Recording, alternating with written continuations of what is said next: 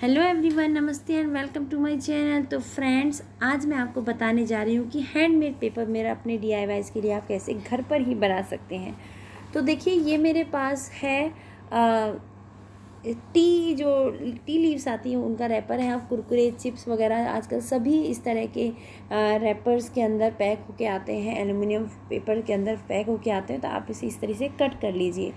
तो फ्रेंड्स मैं आपको बता दूँ कि जो पेपर मिरर होता है वो काफ़ी महँगा आता है और जल्दी से हमें किसी लोकल शॉप से तो मिलता भी नहीं है। हमें हमेशा इसको ऑनलाइन ही ऑर्डर करना पड़ता है। किसी भी शॉपिंग साइट से वहाँ से ऑर्डर करके ही मंगाना पड़ता है। Paper mirror mostly local market में नहीं मिलता है। तो इसके लिए आ, आ, और महँगा भी आता है काफ़ी।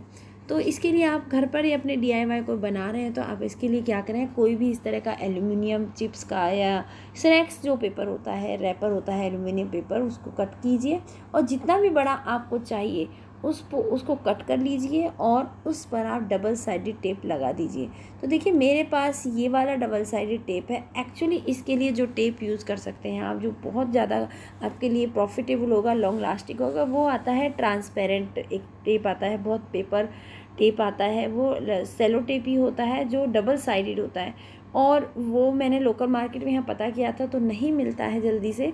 मैंने अमेज़ोन से ऑर्डर किया है तो आएगा तो मैं आपके साथ दोबारा से फिर से शेयर करूँगी इस तरह का एक वीडियो तो मेरे पास ये वाला डबल साइडेड टेप था तो इसको आप बिल्कुल पास पास इसको पूरे को जितना भी आपको पेपर चाहिए, जितना भी आपको पेपर मिरर चाहिए तो आप उस पर इतना कवर कर लीजिए। मेरे को काफ़ी छोटा ही चाहिए क्योंकि मुझे आपको डेमो दिखाना है लाइव दिखाना है। और मैंने इसको इतना कवर कर लिया है। कवर करने के बाद इसको मैंने कट कर लिया है।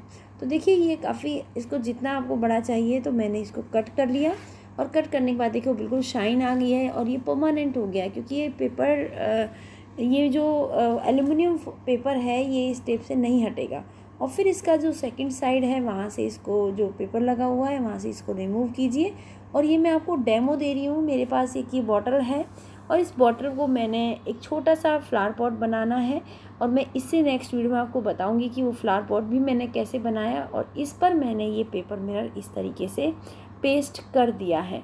तो देखिए, मुझे इतना ही साइज़ चाहिए था इसका और मैंने इसको इतना ही कट किया था और इस तरह से देखिए कितनी अच्छे से शाइन के साथ ये आपका जो वेस्ट रैपर थे, जो आपके फॉइल पेपर्स थे, जिसमें आपके चिप्स आपके कुरकुरे, आपके और आपकी नमकीन भी आती हैं और चाय की पत्ती जिसे टी लीव्स बोलते हैं, ये आए और आपने यू रीयूज़ कर लिया बहुत सुंदर एक रॉयल लुक के साथ आपके साथ एक डी तैयार हो डेमो है, आपने खुद ने देखा और मैंने तो इसे बॉटल पे यूज़ किया। है आप जिस भी डीआईवाई को बनाते हैं, किसी में भी आप इसको यूज़ कर सकते हैं, जहाँ पर भी आपको सिल्वर लुक देना है।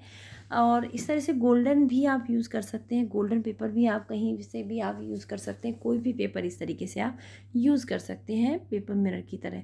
तो आई होप फ्रेंड्स आपको ये वीडियो अच्छा लगा होगा। वीडियो अच्छा लगा हो तो प्लीज़ चैनल को लाइक, शेयर एंड सब्सक्राइब कीजिए and thank you, stay safe.